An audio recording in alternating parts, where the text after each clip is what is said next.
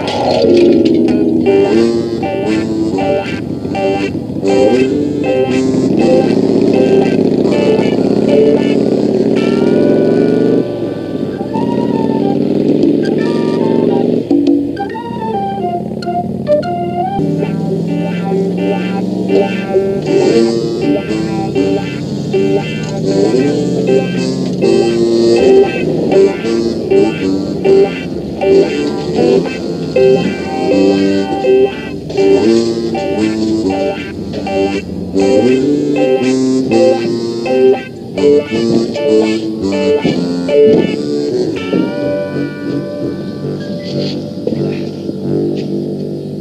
how in the world did you do that? Never mind, Hooper. What's it going to cost to fix it? Well, what I want to know is how you got so far off the road in the first place. How much to fix it? Well, let me see here, Lewis. Uh, you got yourself a bent wheel here. You want me to straighten the old one put your new one on there? Whatever's cheaper. Well, it'd be cheaper for straightening it, but it's going to take a while. Now, I can, I can get you a new one on there and get you out of here quicker, but it's going to cost you a little more. And that, that, that tire, you got to have a new tire. That tire's all torn All up right, all there. A new tire and a new wheel. Okay, tire, new tire, and a new wheel. All right, that headlamp up there, busted. You got to have a new headlamp. Why? I can run with that lamp. No, you can't, Lewis. You get out on the highway and state troopers, boy, stop you in a All right, minute. all right. A new headlamp. What else? Well, let's see. Let me write that down. Headlamp.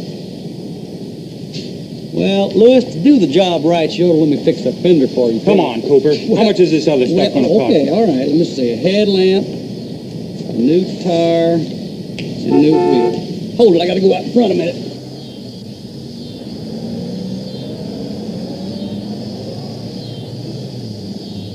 Afternoon, Reverend. Fill it for you? Yes, thank you, R.T. Isn't it too bad we can't instill the spirit of God in a man as easily as we can put gasoline in a gas tank? Yes, sir. I've been kind of busy on Sunday lately. Excuse me.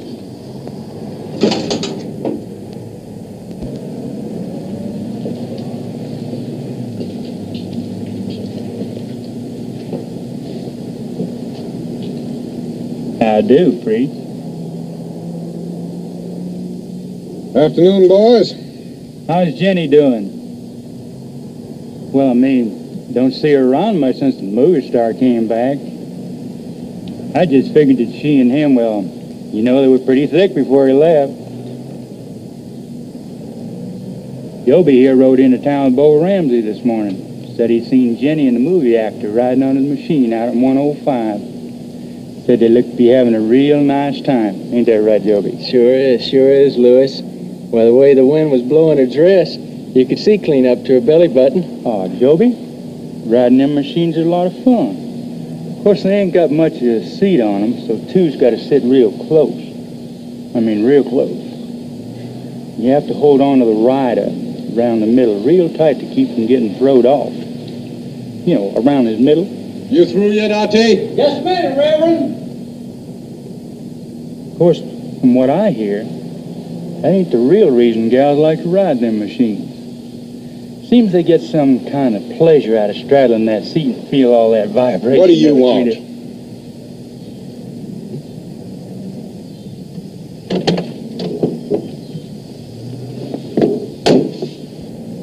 Why, I don't want anything. Then get out of my car. But I thought you might.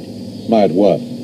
Might want something. Now, what on earth would I want from you? You're just as bad as he is. Not as smart, maybe, but just as bad.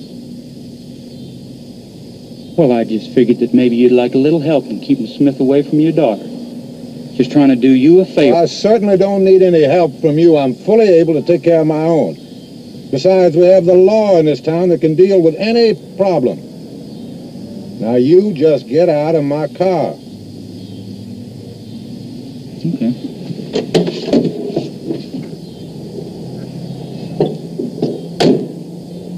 If you'll change your mind, we'll still be here.